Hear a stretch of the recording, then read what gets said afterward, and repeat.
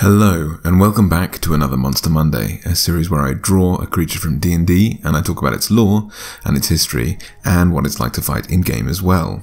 These videos are based on your suggestions, which you leave down in the comment section below in these videos. And today's is no different. Today's video was actually suggested by Jan Kola around a whole year ago, so they've been very patiently waiting for this ever since. Then my patrons over on Patreon vote for which monster they'd like to see me draw in what particular order. So it's my patrons that Jan has to thank for having their request up on screen today, although I have been very excited about this one, I have to say. But if you'd like more control over what kind of videos you see from me, which monsters get picked, then I'd urge you to head over to my Patreon page because backers at all levels get access to my Monster Monday list and can pick which ones they can vote to pick which monsters I do in what order. And your support really, really helps this channel and helps me to make videos for you every single Monday. So if you choose to do that, I very much appreciate it. But if not, I hope you'll enjoy the video anyway. Now, I was actually talking to a member of my D&D group about weird and ridiculous monsters the other day, and he asked where all the kind of bizarre and goofy creatures are in my Monster Mondays because I tend to do the kind of creepy ones. Well, I say that. Aside from Intellect Devourers, which turned out a bit more horrifying than ridiculous, I feel like it's been ages, maybe since the Flumph, I guess, that we've had one of D&D's classic, unquestioningly weird monsters. So perhaps we are overdue. But weird and ridiculous looking, the Froghemoth has in spades, as well as its name. It's just fun to say, Froghemoth. So hopefully this will satisfy my group's desire to see the weirder side of D&D. So what are Froghemoths? Well, they're huge, unaligned monstrosities, said to be in the neighbourhood of an elephant's height. They very loosely resemble massive frogs who traditionally have two powerful back legs that they use to walk upright and four massive tentacles on their upper bodies. Making these amphibious anomalies even weirder, they also have three eyes on the top of their heads which can protrude from their fleshy, slimy skulls like a snail's eye stalks. But if all of that isn't weird enough, this creature is actually an alien. Now aliens have cropped up in a few of my videos, notably the Gith, things like Slaads and Illithids, but Froghemoths actually joined D&D in first edition's Expedition to the Barrier Peaks module in 1980. This is one of the most controversial modules in D&D history because it was written by Gary Gygax in an effort to introduce players to sci-fi or sort of science fantasy, I guess, elements, and also to promote Gary's friend and fellow game designer Jim Ward's sci-fi role-playing game Metamorphosis Alpha at the Origins Game Convention in Columbus, Ohio. And as I've alluded to, the reception of this module was mixed overall because it featured, well, aliens, ray guns, a crashed spaceship, which, while some loved, others felt was an intrusion in their otherwise Lord of the Rings or Conan the Barbarian style fantasy adventures what they were used to in D&D and what they had come to D&D for. So yeah, despite the word frog being in their name, these lumbering amphibious hulks aren't frogs in any respect. This doesn't, however, stop frog-like creatures native to your D&D world from welcoming them as one of their own. We're told that in Volo's Guide to Monsters, where these creatures appear in 5th edition, that froghemoths are often worshipped by bullywugs as gods or sometimes trained as weapons of war if they can be convinced to follow the leadership of a bullywug tribe. Froghemoths aren't easy to train or capture though. They understand no languages that we know of, and with an intelligence of 2, they're not likely to learn, so that throws communication out of the window and their strength 23 creatures with 16d12 plus 80 HP. So making a bad first impression with them is likely to end in disaster. But interestingly, these creatures are unaligned. They're more beast-like. So they're more likely than a lot of monsters to be convinced of your virtues and stop grinding your bones to dust if you end up in combat with one, they're not evil, not inherently, and your DM may not necessarily play them as aggressive creatures. So how does a Bullywug tribe, or more importantly, because I know D&D players, how do you and your party befriend this absolute juggernaut of slime? Well, we're told that they're perpetually starving creatures, desperate to cram as much food as they can find into their enormous gaping mouths. They're so intensely food motivated and so open minded, we'll say, in terms of their culinary range, that they're not above devouring their own young. In fact, we're told that froghemoths reproduce asexually, laying a massive, single fertile egg every few years, and that the parent is utterly, utterly indifferent and has no attachment to it. As such, it may eat the eggs if it is hungry at that time, which is extraordinarily likely, or perhaps they'll leave it to fend for itself, and those tend to be the lucky ones. But an asexually reproducing, massive, eternally hungry monster that is omnivorous, will just eat absolutely anything it finds. If it weren't for this cannibalism, I can imagine that a lot of worlds out there, if your D&D players end up going planet exploring, will just be or would just be absolutely filled with froghemoths and nothing left, were it not for the fact that they devour their own young and therefore limit their own population control. Interestingly, on the nature of this whole asexual reproduction, amphibians, including frogs, have been known to reproduce asexually in the wild through a process called parthenogenesis, where the offspring grow into a single unisex species once they hatch.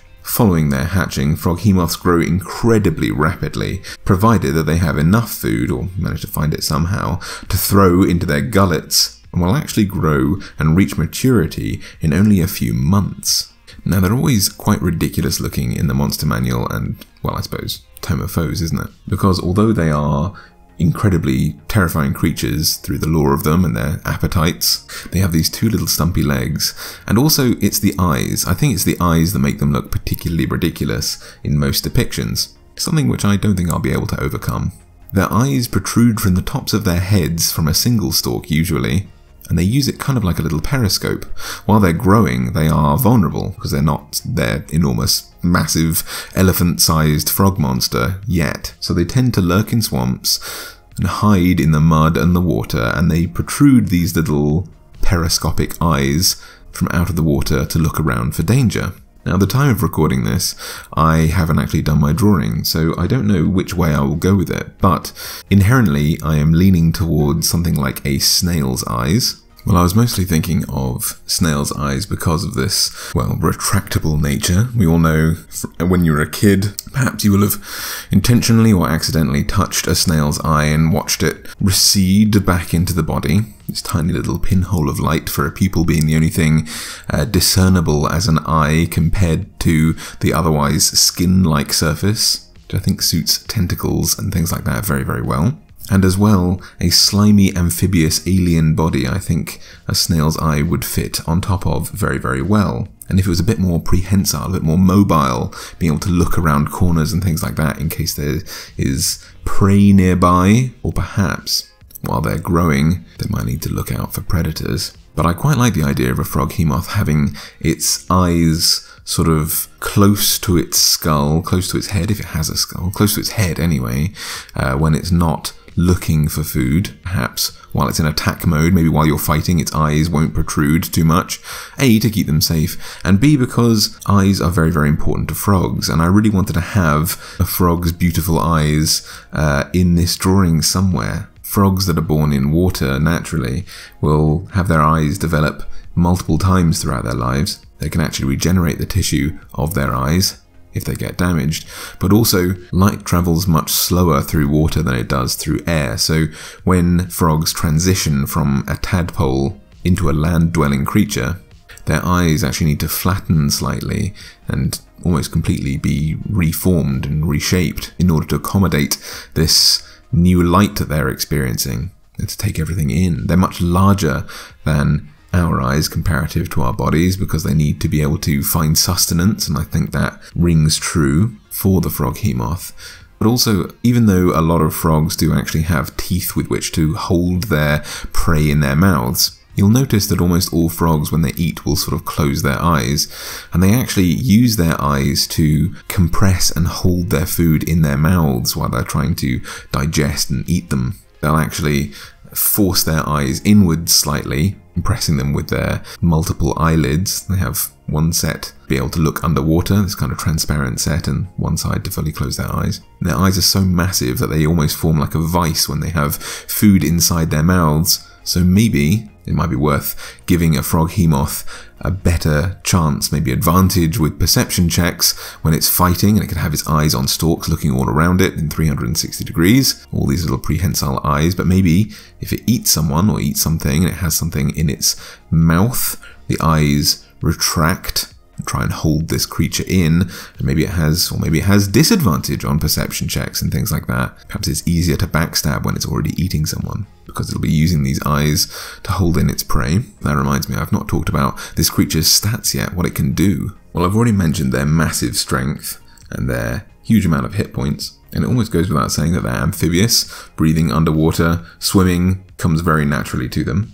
But in terms of what kind of damage this thing is going to deal to you, it has a multi-attack, so it can make two attacks per round. Well, I suppose three really. It makes two attacks with its tentacles, but it can also use an attack from its tongue or its bite. So its tentacles are a plus 10 to hit, they reach 20 feet, and they deal 3d8 plus 6 bludgeoning damage, but they also grapple things, because naturally these are the shovels with which they use to put food in their mouths. And as a player, you could be grappled, ready to be thrown into its massive mouth, and this could be an absolutely terrible fate. But one thing that's often overlooked is the fact that this creature has four tentacles, and if you don't want people to be smashed to pieces by tentacle attacks, you can always occupy its tentacles by being grappled by them. It only has four things with which to make these attacks, and it can't do that if those tentacles are fully grappled but it gets to make two of those bludgeoning attacks per turn, and then it can choose between a bite or a tongue attack.